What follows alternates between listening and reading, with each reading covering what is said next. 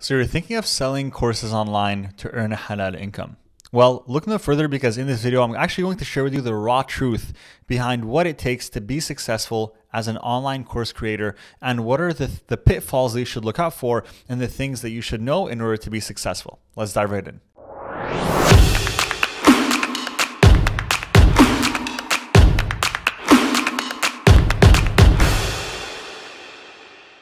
Assalamu alaikum, my name is Abby El-Asmar and in this video I'm going to share with you exactly how you can earn halal income online by selling online courses. And before we dive in, if this is your first time watching a video on Ummahpreneur, make sure to subscribe and like this video. We release content like this every single week to help you on your journey of entrepreneurship as a Muslim. Now, let's talk about what it is that you came here for. You want to know what it takes to sell online courses, what it is that you need to know, what are the pitfalls to watch out for, what are the mistakes that most people are making right now, and how you can be successful in generating halal money online with online courses. Now, I do feel that it's important to mention this before we talk about creating online courses, in that you need to be very good at a certain topic or at least qualified to create an online course by having experience in whatever it is that you're teaching other people. Because within the online course industry right now, there are many gurus and scammers and people popping up that are selling courses about topics that they don't even know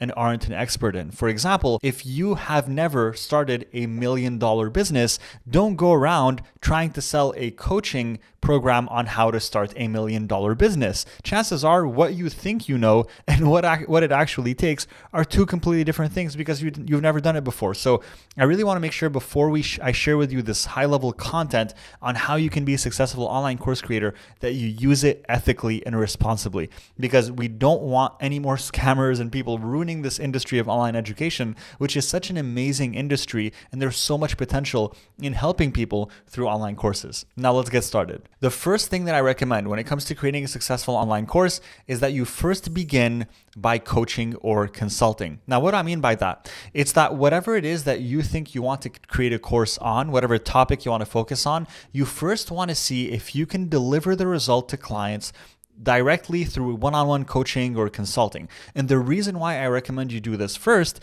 is because it's really going to allow you to understand how to best deliver that outcome for your clients and eventually turn that process into an online course. The greatest online courses are the ones that are previous coaching programs and consulting offers that were eventually turned into online trainings. And what these course creators have done is, for example, if they have a process of working with small businesses and helping them, you know, set up their accounting for their business. Well, they're going to take that process that they've been doing for so long and say, well, you know what? I've been working with many clients and we've been achieving success. Let me turn that process into an online training, into a system that people can follow so that they can do it for themselves. They can do the result themselves. I don't have to work one on one with clients anymore. And this is usually the best strategy to get started because a lot of people overthink what they need to uh, create an online course. They overthink what it takes to be successful within this, this industry. And the biggest recommendation I have, the first step that you need to take is test your course live with other people.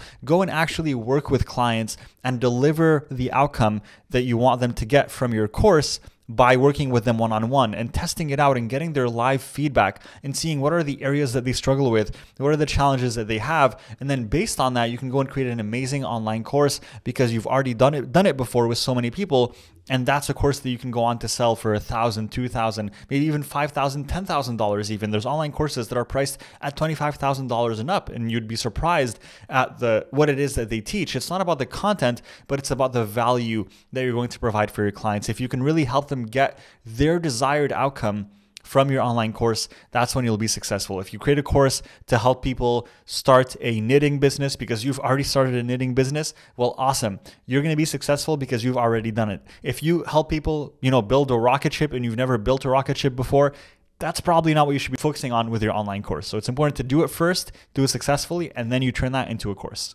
Now, once you've worked with a few clients, and it doesn't have to be that many, as long as you've at least worked with a few, and I would recommend at least a minimum of two or three so that you can really test out your course idea and see if it works, then you begin the process of mapping out your course curriculum. Now, when it comes to mapping out your course curriculum, there are four basic elements that you need to understand. Number one, what is the transformation? So, what kind of transformation do you want your clients to achieve? For example, with our online program, Automopreneur, and the transformation that we help our clients achieve is to go from knowing nothing about business to successfully starting a six figure halal online business. So that's the transformation. So th- that's what we know.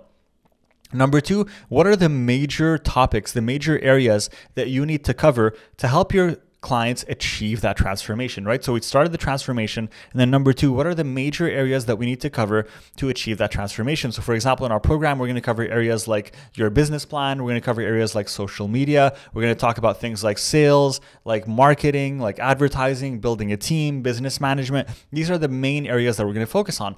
Now, once you know about your main topics, the main areas you're going to focus on, within those main topics, what are the subtopics that you need to share with your clients in that course? So, for example, we know that one of our main topics is marketing, marketing, you know, your business, setting up your advertising, your funnels. Then what are the subtopics that we need to cover? Well, we need to, to help them set up their funnel. We need to help them, you know, set up their their Facebook or YouTube ads so they can go and get more clients. We need to help them uh, essentially understand how to manage that advertising uh, for their business and be successful and be profitable and make sure they don't lose money. So there's a few main subtopics that we're going to cover. And then finally, what are your action items? Every online every great online course is going to have action items. So action items is what is going to be the homework that you're going to give to your students that's going to allow them to apply what it is that they just learned. So, for example, if I create an online painting course, I'm going to teach you how to paint beautiful landscapes. Well, maybe the transformation is going from someone who knows nothing about painting to uh, to being able to paint beautiful landscapes. And the main areas that I'm to, that we're to talk about are maybe going to be like shading, background, creating shadows, creating depth of field, and then maybe within that subtopics, within those main areas, we're going to have subtopics. I don't know what those are because I'm not a painting expert. But then for each each each one of those things, we're going to have action items, right? So, you know what, throughout the course, the first thing, once I teach you about depth of field, I want you to go and draw this specific canvas to apply what it is I just taught you. Once we talk about, you know, uh, creating uh, shading within your image, then I want you to go and actually go and apply this by creating this canvas where we use a lot of shading so you can practice it. So you have a set of action items within each lesson or within each step that you want your client or your student to follow to be able to achieve that transformation eventually. At the end of the program, you want them to get to that transformation, be able to go, for example, from knowing nothing about painting to painting beautiful landscapes, knowing nothing about business to building six figure businesses, uh, not being able to do their accounting to at least being able to do, you know, all of their small business accounting on their own and understanding it fully. All of these things are amazing transformations. There's a million ideas for online courses. All you need to do is figure out what it is that you want to focus on and then use those four elements to map out your course.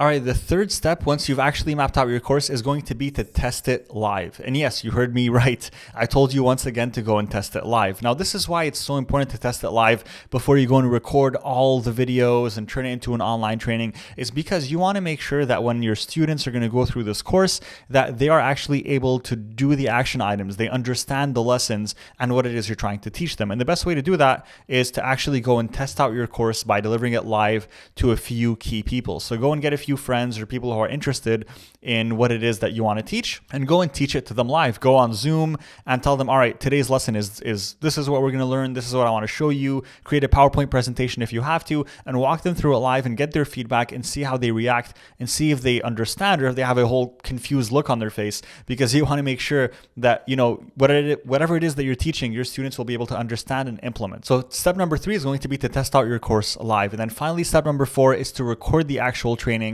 and go and launch your online course. So once you've tested it live, you've seen that it works, you've mapped out your entire course outline, then you can go and actually record that into an online training. You know, get a screen recorder app, uh, get a decent microphone on Amazon. It's going to cost you like 20 or 30 bucks to get, you know, just a standing mic for your desk where you can go and record the course and then you can go and package it and be able to start selling it, which brings me to Number five, how do you sell your course? So there's a few different ways to sell the course. You can of course leverage platforms for selling courses such as Udemy and Skillshare. However, platforms like that really cater to courses that are a little bit on the lower price of the scale. So, you know, courses from ranging from like $25 all the way up to 500, that's where you can sell that. If your course is more high ticket, which is what we teach our students to create programs that are priced at $2,000 and more, then you need to be able to actually leverage social media and build a brand and build an audience that's interested in the topic that you specialize in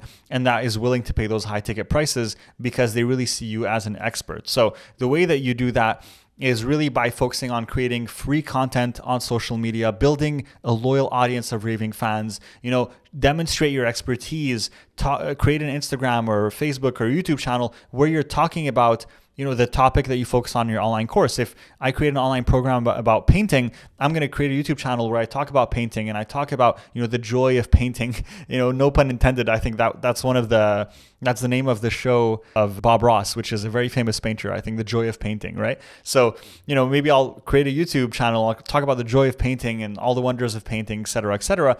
Build an audience, get people interested in painting, and then I can go and sell my program. So I recommend you do that if you're on the higher ticket end. If you're priced between 25 to 500, you can leverage platforms like Udemy and Skillshare pretty successfully and go on to sell your course, inshallah. All right, guys, and that covers it for the game plan on what you should do if you're thinking of launching an online course business this year, inshallah, and really what you should keep in mind what are the pitfalls what are the things to look out for so you can really maximize your chances of success with this business model. Now we've helped hundreds and even thousands of muslims really get support and get the right strategies to build online programs successfully and launch these online businesses. So if that's something that you want help with, you want us to hold your hand throughout the process, there's going to be links for that beneath the video. And of course, if you enjoyed and got value of this video, go ahead and subscribe and like this video and let me know in the comments what are the insights that you've gone from this video. And I would love to actually hear your course idea. So if you have an idea of what kind of course you're going to be creating, let me know in the comments. I check every single one and I'll give you my personal feedback. I'll see you in the next one, inshallah. Take care. Assalamu alaikum wa rahmatullahi wa barakatuh.